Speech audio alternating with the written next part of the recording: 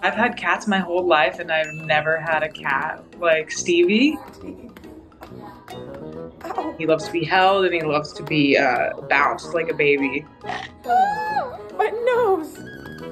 If you're around here cooking or just cleaning or whatever, he's like, I need to be on your shoulders. Stevie always jumps into the middle of what's going on.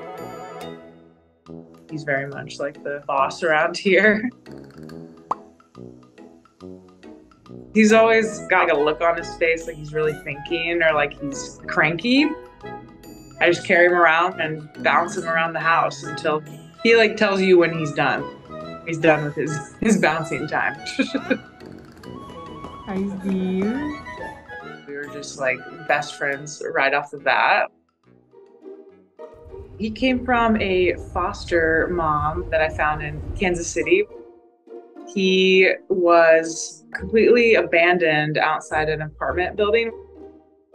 And he was the only surviving member of his litter. So it was just him out there in the cold. She brought him over, and he was just the sweetest boy, like literally doing just like this, sitting in my lap, and wanted just so much affection.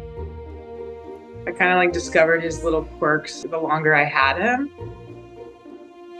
I sit down at the table and he like immediately jumps on my lap like this. He becomes like liquid when he lays on you. So it's just like having a heavy pillow laying on your chest. And he gets very sad if we're like away for too long. Like, Hi, Steve.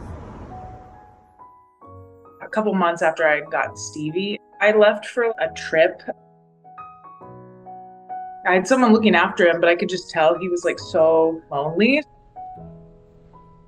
I knew he would want to like have a have a friend to play with. The same foster lady actually, she had another litter of orange kitties and I saw Mac was like the last one. He was the cutest kitten. I was going to keep them apart and like introduce them slowly. But the first day I brought him home, I opened his carrier and they were hanging out that day.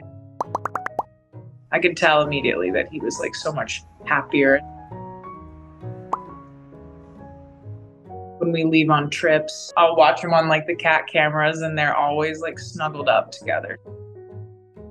So it definitely like gives him some good company while we're gone or they both just like brought so much joy to my life. My life revolves around them. We travel with them a lot. And every time I'm gone or away from home, I look forward to coming back to them. Steve. I think he just like thinks of me as his, his mom, his best friend, his like playmate. And I love him very much.